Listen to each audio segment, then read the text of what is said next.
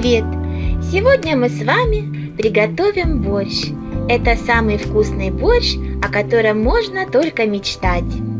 Для рецепта нам понадобится свинина, можно взять говядину. Я взяла ребрышки, а можно взять мясо с косточкой. Э, если вы сделаете так, то бульон будет более наваристый.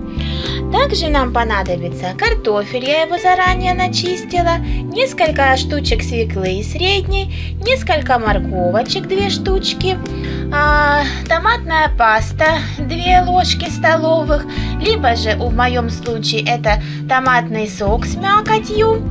А, можете взять а, готовый соус, также нам понадобится а, фасоль. С фасолью борщ всегда вкуснее, если вы знаете. А, понадобится нам а, смесь перцев. Я взяла хмели сынели и черный перец. Взяла веточки базилика. Обязательно берите зелень, в таком случае борщ будет ароматный. Я подготовила зеленый лук, укропчик и петрушечку. А также нам нужны будет сливочное масло, Э, сало кусочек э, для зажарки, сахар, капуста, соль, лавровый листочек, пару э, листиков. Но можно лавровый листочек и не брать. Итак, приступим к приготовлению. Сразу оговорюсь, что летом э, большее количество всяческих овощей ароматных. Э, если бы я готовила борщ летом, я бы добавила щавель, добавила бы обязательно помидоры, у меня один всего лишь, а мы готовим зимой. А так бы, также обязательно я добавляю болгарский перец, но сейчас его, к сожалению, нет, не сезон. А, но с таким набором овощей и мяса борщ все равно будет вкуснейший. Обязательно приготовьте так. Первым делом кастрюльку набираем воду и ставим на огонь. Когда водичка закипит, э, добавляем туда мясо и фасоль одновременно и варим где-то чуть-чуть больше часа. Чтобы фасоль быстрее сварилась, вы можете замочить ее на ночь в холодной воде. А тем временем, пока у нас с вами варятся мясо и фасоль, мы с вами приступим к приготовлению зажарки. Для этого нам необходимо сало порезать на мелкие кубики, морковь натереть на терочку, свеклу также потереть на терочку, помидорчик нарезать. Лук мы с вами мелко режем. И в основном можно отправлять в зажарку а, белые части, а зеленые мы будем добавлять в конце. Все компоненты к приготовлению зажарки я подготовила. Свеклу, свеклу натерла на крупной терочке, морковь также на крупную терочку Зеленый лук а, старалась обрезать, для этого нарезать белые концы и сало порезала. А, к зажарке требуется подойти очень серьезно и с большой любовью. Ведь от того, какой будет ваша зажарка, зависит э, то, каким будет ваш борщ.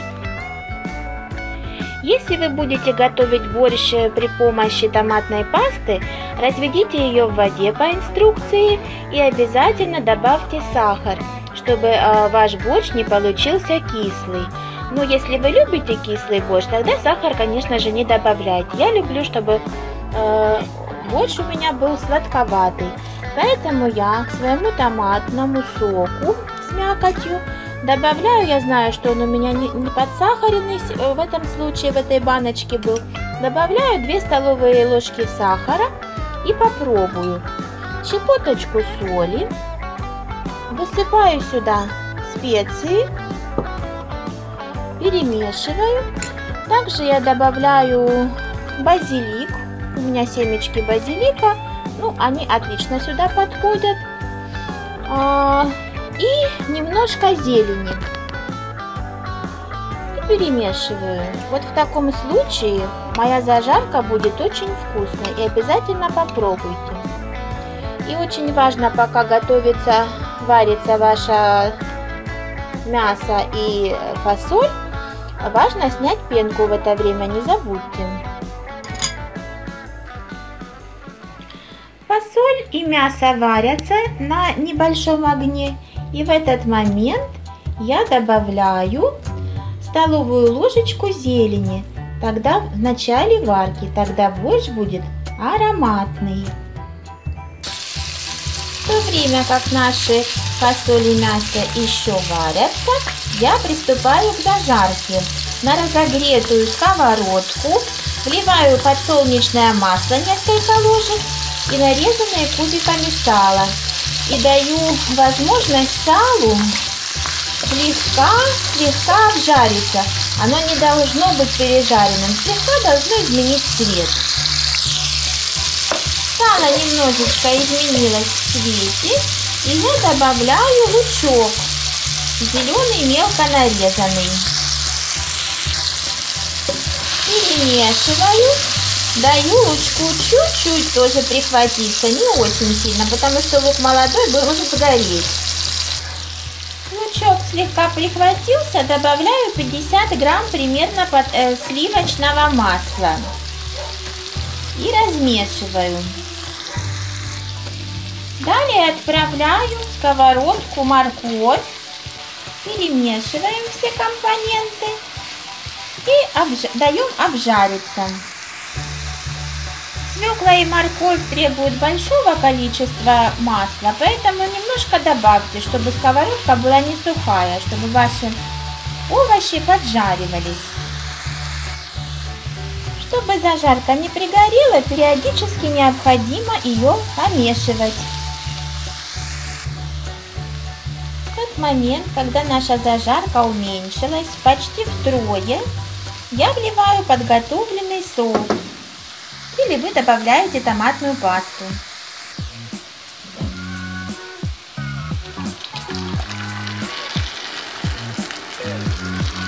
Добавили и перемешали.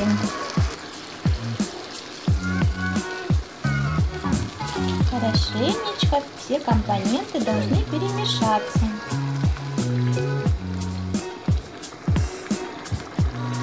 Перемешали накрываем крышечкой и даем э, потушиться таким образом минут 5-7. За то время, пока зажарка была под крышкой, она набрала красивый буряковый цвет. И мы помещаем ее в кастрюльку с мясом и фасолью. И продолжаем варить все компоненты вместе. Зажарку отправили в кастрюльку, теперь добавляем соль. Сразу всю соль добавлять не нужно, постепенно пробуйте, чтобы не пересолить. И продолжаем доваривать фасоль с мясом. Знаю, что многие добавляют зажарку в конце, но такой способ, честно говоря, мне не нравится. Прошел час, Пробуем э, на готовность фасоль. Если сварилась, добавляем картошку. При этом кастрюлька должна быть заполнена жидкостью не до верха. Если у вас слишком много под горлышко почти заполнена ваша кастрюлька, то черпачком надберите лишнюю жидкость, потому что должно быть место для картофеля и капусты меня фасоль практически готова, я отправляю картошечку в кастрюльку.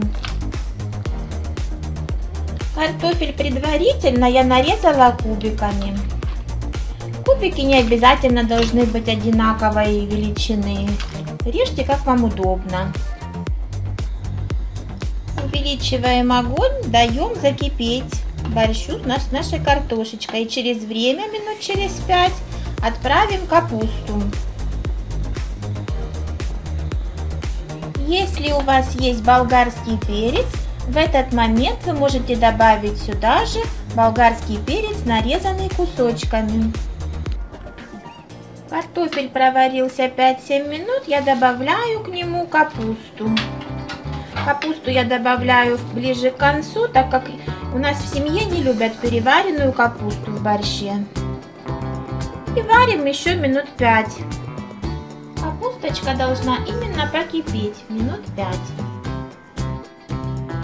Кипеть овощи должны во время варки на небольшом огне. В самом конце варки добавляем оставшуюся зелень и даем кипеть на маленьком огне еще минут пять без крышки. Если есть чеснок, вы можете в этот момент также добавить мелко, мелко нарезанный чеснок, зеленый же или обычный зубчатый. Варим борщ до готовности картофеля, проверяем его перед этим. Борщ готов. В последний момент перед, э, перед концом варки я добавила два лавровых листочка, но можно и не добавлять. Вот такой у меня он красивый, ароматный и аппетитный получился. Всем рекомендую приготовить борщ по моему рецепту. Ну а подаем к столу такой чудесный борщ мы со сметаной.